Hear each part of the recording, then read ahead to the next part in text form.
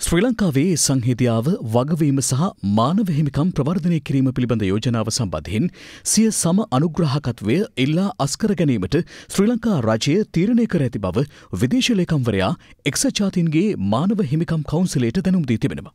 Elizabeth ටිචි ෆිසිල්බර්ග් මැතිනිය හමු වූ විදේශ ලේකම්වරයා ශ්‍රී ලංකා රජය ගෙන ඇති අදාළ තීරණය පිළිබඳ දැනුවත් කර ඇති බවයි විදේශ සමඳදා අමාත්‍යංශය පවසන්නේ. හෙට දිනේදී එක්සත් ජාතීන්ගේ මානව හිමිකම් කවුන්සලේ හතලිස් තුන්වැනි සැසිවාරය ආරම්භවීමට නීමිතයි. විදේශ සබඳතා අමාත්‍ය දිනේශ් ගුණවර්ධන මහතා ලබන විසි හයවනිදා ජගත් මානව හිමිකම් මණ්ඩලේ ඇමතීමට නීමිතයි. මාර්තු විසි හත්වනිදා ජගත් මානව හිමිකම් මණ්ඩලේ මහකොමසාරිස්වරිය ශ්‍රී ලංකාව පිළිබඳව වාචිකව කරුණු දැක්වීමටද නීමිතව තිබෙනවා. මීට පෙර ජිනීවා මානවහිමිකම් මණ්ඩල සැසිවාරයන්හි ශ්‍රී ලංකාව නියෝජනය කර ඇති රාජ්‍යමාත්‍ය මහින්ද සමරසිංහ මහතාද විදේශකටයුතු අමාත්‍ය දිනිශ් ගුණවර්ධන මහතාද ලබන අඟහරුවාදා ස්විට්සලන්තය බලා පිටත්වයාමට නීමිතයි.